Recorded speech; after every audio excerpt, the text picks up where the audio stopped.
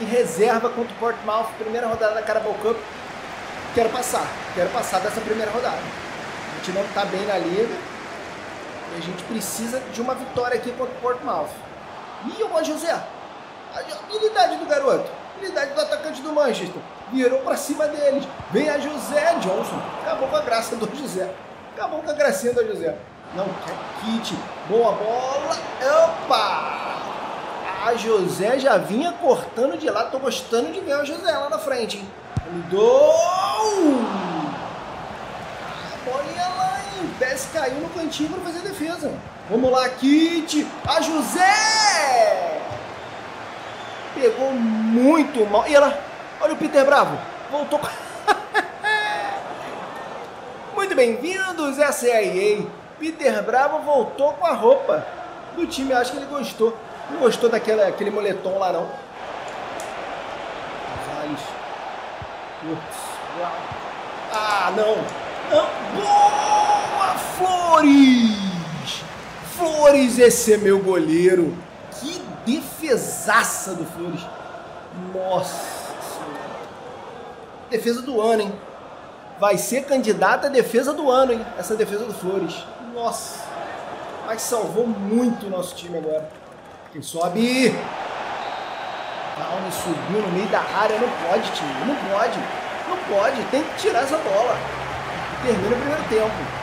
Galera, o Colin está mega cansado. Não vou correr risco de perder ele por lesão. Então, tirando e colocando o Atangana. Boa bola, Taylor. Virou bem. Atangana. Boa bola agora. Kit. Bess. Bess mais uma vez. Uma pedra no nosso caminho. Uma pedra no nosso sapato, na nossa chuteira. Bess vem defendendo muito lá atrás. Vou tirar o kit aqui. Vou tentar o Lani ali na frente, junto com a José. Lani que não jogou o último jogo, tá mais descansado. Não vou cansar ele tanto pro próximo jogo, porque tá 75 minutos. É para ele entrar e fazer a diferença. Botar a correria lá para cima deles. Pegou na bola. Isso. A Tangana, boa bola. Lani. Vem Lani. Vem Lani, vem Lani, vem Lani. Gol!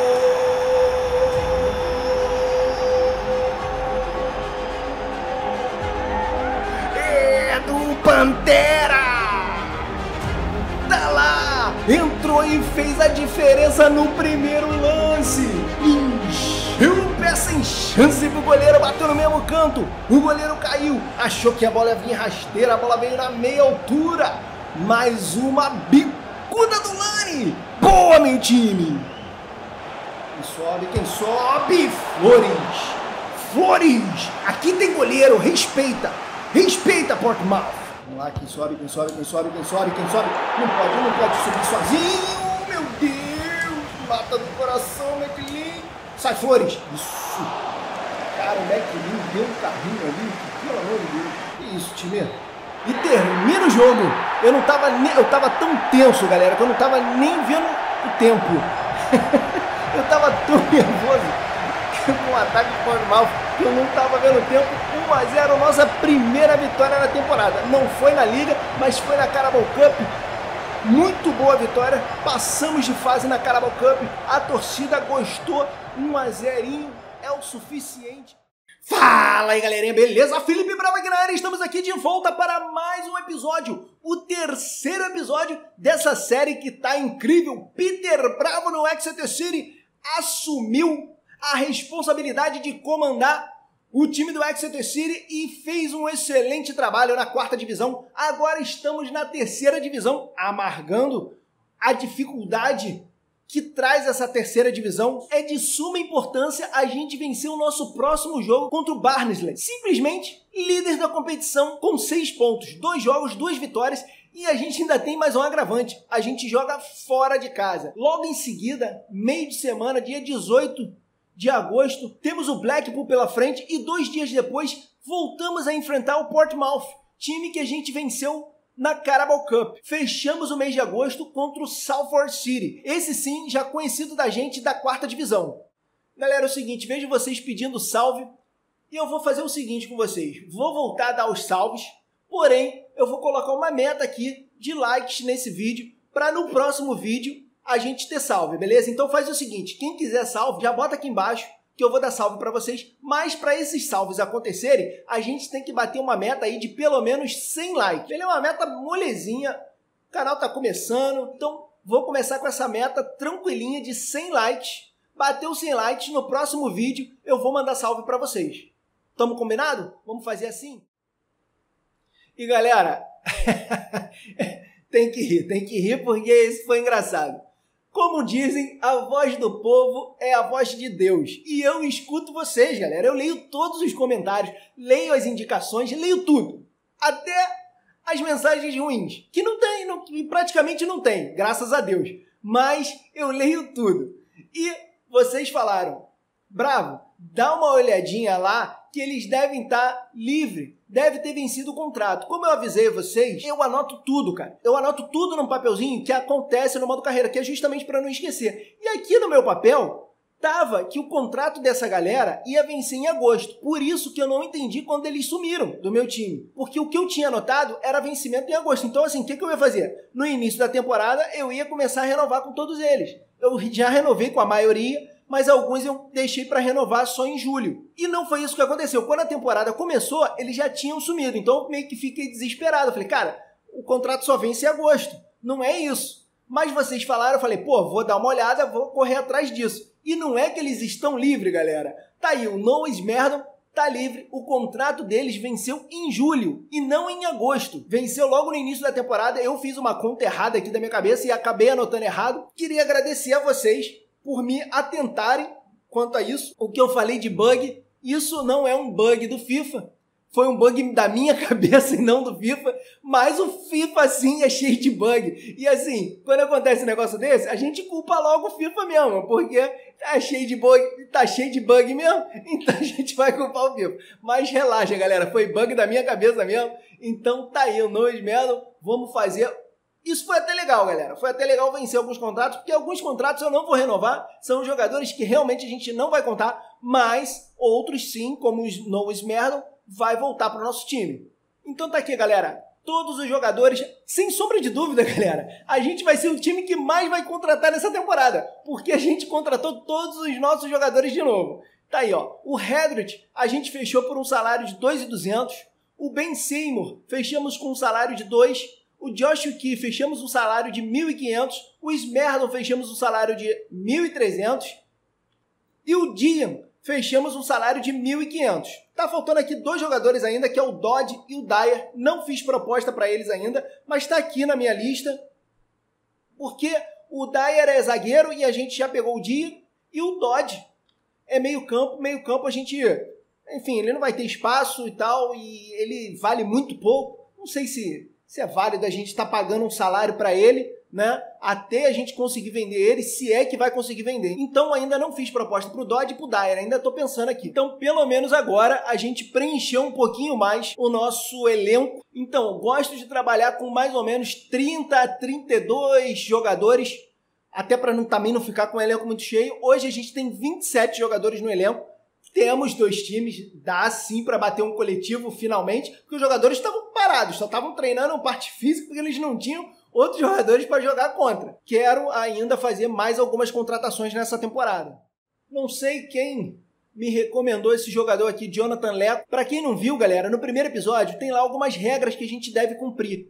E uma delas é só contratar até a Premier League jogadores de até 20 anos. Porque, como vocês sabem aqui, é academia de jovens, é a gente tentar descobrir jovens talentos no XCT City. Então, uma das regras é a gente contratar jogadores de até 20 anos, beleza? O Jonathan Leco aqui já tem 22 anos, então ele tá fora da lista. E tá aí, galera, Flores ganhando um destaque na mídia. Flores fecha o gol. Se o Exeter City venceu, foi graças a Lucas Flores. O goleiro fez grandes defesas em momentos decisivos do jogo e operou pelo menos cinco verdadeiros milagres que frustraram o ímpeto do adversário. Com essa atuação sensacional, tudo leva a crer que ele garantiu de vez uma vaga no time titular. É, não é bem assim não, galera. Não é bem assim não. Ele não conquistou nada, até porque ele precisa melhorar os jogos, o jogo com os pés A saída de bola dele ainda é muito fraca. Ele precisa melhorar isso. Depois que ele começar a melhorar isso, ele vai começar a ganhar mais chance no time. Galera, vocês pedem e a gente faz. Vamos mudar aqui agora o Ivan Zevic, que ele tá muito genérico. A meia lá na canela tá tudo bem, mas essa chuteirinha, essa blusinha aí pra dentro não tá legal não. Vamos editar ele aqui, botar uma manga comprida nele, segunda pele. Vamos mudar essa chuteira dele que tá feia demais, né, galera? O que, que vocês acham? Ó, vamos, vamos, vamos ver o que, que tem a cara aí do Ivan Zevic, focado no jogo. Então vamos de Mizuno aqui, nessa Pirma Imperial Letal aqui, vermelha e preta, da cor da blusa, combinando com a nossa blusa do time. Ó, tá linda essa chuteira, hein? Acho que agora o Ivan Zevic vai conseguir marcar, porque tá difícil para nossa zaga. Acho que depois dessa chuteira aqui, ele junto com o Anthony vão se superar. A gente tem que acreditar, né, galera? Maneiro, hein? O que, que vocês acham, galera? Fala aqui embaixo o que, que vocês acharam do novo visual do Ivan Zevic. E o Bayern, assim como na vida real, levando simplesmente tudo. Bayern de Munique comemora a vitória da UEFA Super Cup. Os campeões da temporada anterior da UEFA Champions League se deram bem contra o Bayern Leverkusen em uma final emocionante que acabou em 2 a 0 para o time do Bayern de Munique. E galera, treta entre Collins e Palácios os dois brigando pela camisa número 10 do time, mas o Matias Palacios falou que veio para ganhar a camisa número 10. Então chegou o dia da gente inventar o Burnsley. Acho que é assim o nome do time. É líder da FL League One. Vamos ter um jogo fora de casa, um jogo muito difícil. O time tem duas vitórias em dois jogos. Tem já o artilheiro do campeonato, Chaplin. Então é um ataque ofensivo, é um ataque perigoso. A gente precisa muito que essa defesa funcione nesse jogo. Vou jogar descaradamente recuado. Vou jogar por uma bola, galera. É isso aí. Não tem outra opção a não ser a gente jogar extremamente defensivo contra esse time fora de casa. Então, galera, e para o jogo de hoje contra o líder do campeonato, Vamos entrar com Williams, Begraui, Poku e Lani lá na frente, fazendo falso 9, Begraui atuando de pivô, Collins e Palácio fazendo meio de campo. Eu acho que pela primeira vez os dois vão entrar no início do jogo. Vamos ver como é que os dois vão se sair. E agora, não vou jogar com Collins mais atrás, vou jogar no meio de campo. Porém, nenhum dos dois vão ter a função de subir para o ataque. Os dois vão jogar lá atrás. Vamos ver se assim eles conseguem voltar mais para ajudar a nossa defesa. Estou entrando aqui com Hedrich nosso novo recontratado, porque o Page está um pouquinho cansado e é bem provável que a gente no segundo tempo coloque o Hedrick. Bora, meu time. Com respeito o líder, mas sem medo. É isso que eu quero no meu time. Lute com a bola. Tocando bola o time do Burnsley. Acho que é assim que se fala o time, não. Difícil da porra. Isso. O time tá fechado, hein? Tô gostando de ver. Fechou bonito ali o, Perdeu a bola o Page. Pera, garoto, não!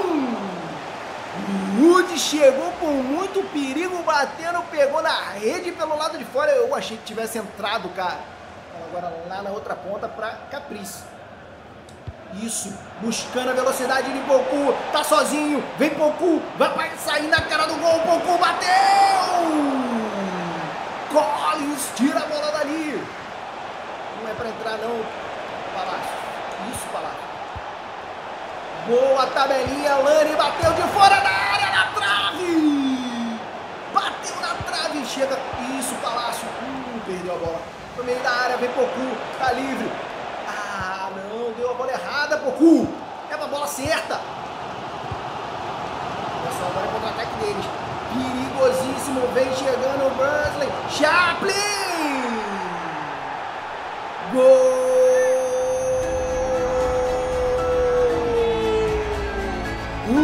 Feitiço foi contra o feiticeiro. Tomamos um gol de contra-ataque, galera. Que bola, que bola, sozinho.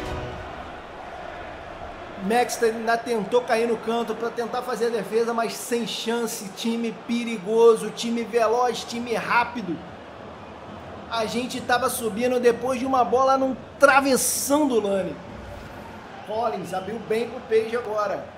Page adiantou. Voltou no Collins. Palácio, cadê você, meu garoto? Termina o primeiro tempo. Angustiante o jogo até aqui. Essa é a palavra. Chega Collins, Collins mais uma vez. Duas vezes Collins. Poku chegou, foi falta, juiz. Foi, professor. Vamos apitar, professor. Olha lá, aí, é gol, é gol. É 2 a 0 Ah, pro inferno, pro inferno com esse time. Horrível, horrível. Tem ninguém que preste, ninguém tá jogando bola, ninguém. É, galera, que início de temporada horrível. Que início de temporada horrível pra gente. É, esse é o início de temporada do Exeter City. 73 minutos, 2 a 0 pro Brandon. Boa bola agora pro Cocu. Boa bola pro Cocu. Que isso, Cocu? Cara, e a bola sobrou pro Boma! Gol!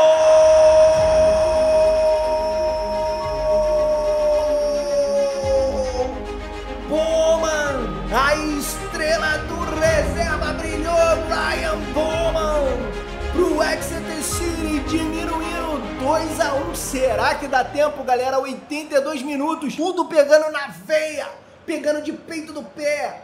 Uma porrada para dentro do gol. Será que esse gol vai fazer o time acordar? Vambora, meu time. Eu acredito, eu acredito nesse empate. Isso, boa bola. Olha só o Lani, tá sozinho. Vem Lani, vem Pantera, bateu, bateu pra fora. Bateu pra fora, perde Lani, um gol incrível, tava sozinho. Não tão sozinho, tava um pouquinho marcado, mas dava pra ter feito esse gol, Lani. E Lani, ah, meu Deus, foi travado na hora, Lani. Juiz deu mais quatro. Vem Palácio. Tentou se livrar da marcação, ficou travado. E mais uma vez, Collins, Collins pressionado e termina. Termina o jogo. 2 a 1 pro Burnley, mais uma derrota pro Exeter City. Agora o que eu quero do meu time é o seguinte, eu quero que eles joguem como eles jogaram nesses minutos finais, pressionando o time. E é isso que eu vou fazer. Chega de jogar atrás, chega de jogar com medo. Vou botar meu time para frente, marcar lá em cima. Se a gente sofrer goleada, não importa, mas a gente precisa meter gol. O desenvolvimento do McLean foi completado, agora sim jogando de ponta direita. E olha como a nossa situação tá muito ruim. A gente hoje figura na 19 colocação da League One, com apenas um empate um pontinho, estamos na beira do rebaixamento. Isso não pode acontecer com o nosso time. Liderando vem o Icombe, o Burnsley e o Swindle Town. Os três com nove pontos, três jogos e três vitórias. Agora é esquecer essa derrota, pensar nos minutos finais que a gente fez contra o Burnsley para enfrentar o Blackpool. O Blackpool que vem ali na 15ª posição com uma vitória e duas derrotas. Fiz algumas modificações na nossa antiga 442, aquela nossa antiga, na League 2, a gente jogava com o Lani, de um pouquinho atrás do Begraui e do Bowman, colocando muita ofensividade no time e jogava com apenas um volante. Estou jogando agora com dois volantes, Collins e Palácios no meio de campo. Os dois estão com funções, instruções de ficar na defesa e lá na frente o Bowman vai agora jogar na reserva, mesmo com o gol no outro jogo, porque eu quero o Boma de repente entrando no segundo tempo mais descansado e vou jogar lá na frente com Lani e Begraui. O Begraui fazendo mais o pivô e o Lani fazendo aquele atacante de mais velocidade. Tyson James Park lotado, vai começar o jogo, Begraui pronto para sair a bola. Começa o jogo, saiu a bola, Begraui e Lani. Vamos lá, meu time, a gente precisa de uma vitória aqui hoje. Renan Williams bateu, Begraui sobe, subiu, cabeceou, é gol! Gol!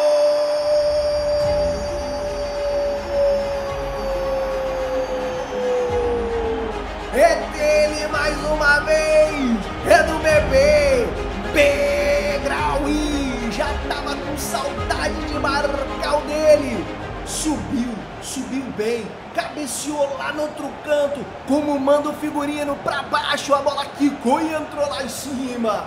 1 a 0 agora sim, isso aí, meu time. Eu amo vocês. Eu só tava estressado no outro jogo.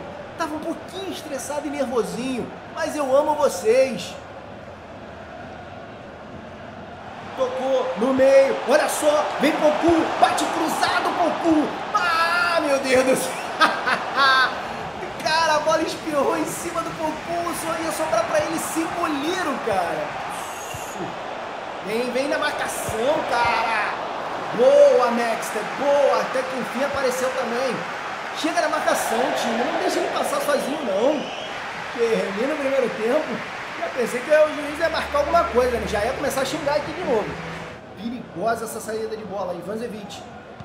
Agora sim, saiu bem. Palácio. Lani.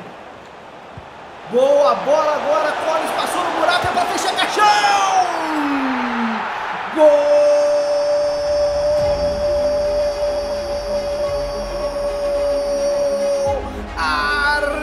Collins é pra fechar caixão, é a primeira vitória do Exeter City na League One. Numa bela triangulação, Lani Megraui, Art Collins passando no buraco, dando opção. É 2 a 0, boa meu time, boa meu time.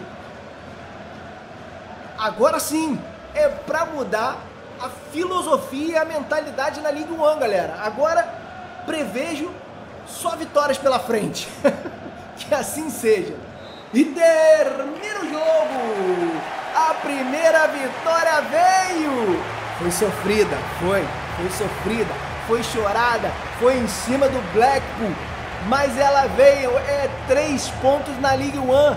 E tá aí, ó, Art Collins começando a aparecer, tava ameaçado ali, perder a camisa número 10 pro Palácio, começou a mostrar mais jogo, jogou muito bem, tanto defensivamente quanto ofensivamente, Art Collins.